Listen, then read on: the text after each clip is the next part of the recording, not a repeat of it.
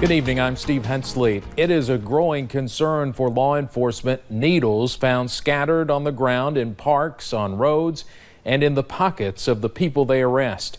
To combat the issue in Clay County, every deputy carries a sharp box. WYMT's Macy Marie rode along with the sheriff as he hit the streets to clean up some of the mess. Here are our sharps containers. It is a tool every deputy at the Clay County Sheriff's Office keeps with them. What you do is just take the lid off and then we'll put the Sharpie down in here. Chief Deputy Clifton Jones says they get constant calls about people finding needles. Those calls increasing in the past few years. Everybody, they call in all the time. We found needles here, we found needles there.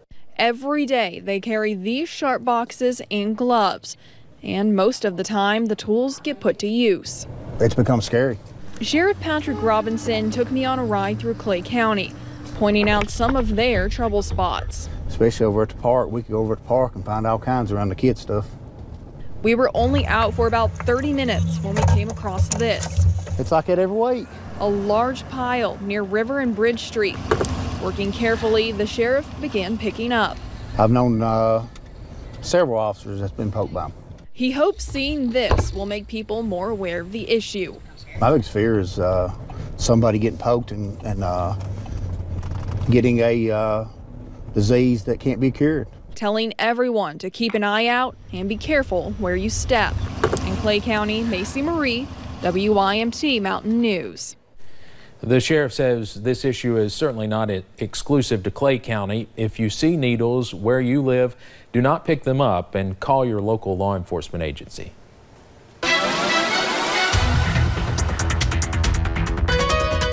We've seen those clouds increasing throughout the day. That's because of that warm front that's moved through today. But good news is it has kept us dry. You'll notice here as we go ahead and take a look at Interstate 64 up into Morehead, you'll notice those clouds increasing throughout the day, pockets of sunshine at times.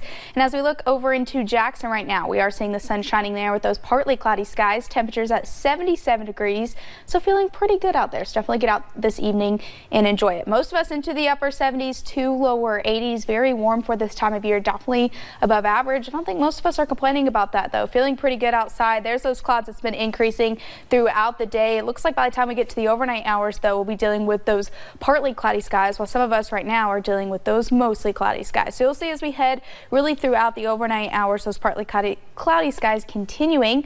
Good news is that keeps us warm though. By the time we get into those early morning hours, we really get only get down to about those lower 60s overnight. So we have a warm night ahead, which will make for an even warmer Tuesday. We'll have that full forecast coming up in just a little bit. Steve. All right. Thank you, Paige. The University of the Cumberlands will soon start a new program, one that will allow special education teachers to teach two class or grade levels instead of just one. WYMT's Hannah Reynolds talks to university staff about the expansion. There are an estimated 2.8 million special needs students across the country. The need for special ed teachers is a national need. In Kentucky, the Individualized Education Program is 2.2% higher than the national 13%. The newly approved preschool through fifth grade elementary education with an academic emphasis in learning and behavioral disorders, special education for grades preschool through 12 will soon help bridge that gap exciting university students and staff. The 30 students that we have enrolled, enrolled right now, they're not all from Kentucky. Expanding horizons for those that choose to take the classes in seat or online, making the program accessible to more future teachers and their students. I think that we are meeting that need across the nation, across the state, in our local area. Broadening the pool of potential certified candidates of teachers in local school districts. The students will benefit tremendously. Which they say will help students get better suited attention in the classroom. I'm very optimistic of what this will hold for our students in the Whitley County School District and for all special education students throughout the state and throughout the country. Expanding education opportunities for teachers and students alike. In Whitley County, Hannah Reynolds, WYMT Mountain News. Registration for the classes begin this summer. Police in Kentucky arrested an Ohio man wanted for the murder of his two-month-old son. Officers arrested 27 year old Cody Caldwell on Saturday. He's charged with the murder of his son, Caden Caldwell. The baby was found not breathing on April 11th in Caldwell's home in Warren County, north of Cincinnati. Police say the baby's death was suspicious. Caldwell waived an extradition hearing in a Lexington courtroom today, and he will be sent back to Ohio to face those charges. We have a traffic alert to pass along. A welcome center along Interstate 75 will be closed tomorrow for maintenance. We've mapped it out for you here. It is the Welcome Center in Whitley County, one mile north of the Tennessee state line, south of Williamsburg. It will remain closed from 7 tomorrow morning until 4.30 tomorrow afternoon. Prestonsburg theater scene is looking forward to some changes following the recent cease of productions from the Jenny Wiley Drama Association. Mayor Les Stapleton said the community will see the Jenny Wiley Amphitheater being put to good use. The city has announced a slate of new productions to take place this summer in a partnership with two local theater companies, Artist Collaborative Theater and the Hatfield and McCoy Arts Council. The mayor says not only will the productions be from local entities, they will also showcase local talent. We're going to have open casting calls that will be announced today through our social media and our website. Uh, we want local artists involved. We want kids. We want these people to learn about the arts from people who've already been doing productions locally. To see a list of the upcoming summer shows, just head over to our website. Governor Matt Bevin signed a new bill today limiting abortions in Kentucky. It's already being challenged by the ACLU. And as Victor Puente tells us today at a news conference, the governor called out Andy Beshear for refusing to defend it. Today, Governor Bevin said he hopes the fight over this law makes it all the way to the Supreme Court. They believe it could have an impact on federal policy. House Bill 5 creates a new ban on abortions in Kentucky if a pregnant woman wants to have one because of the fetus's sex, race, color, national origin, or disability. Governor Bevin held a ceremonial signing earlier today. The days of hypocrisy have got to end. The days of taking innocent life in America have got to end.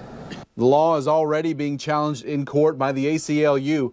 Bevin criticized Attorney General Andy Beshear for refusing to defend it a little political stunt on his part to try to gin up support and money for his political aspirations.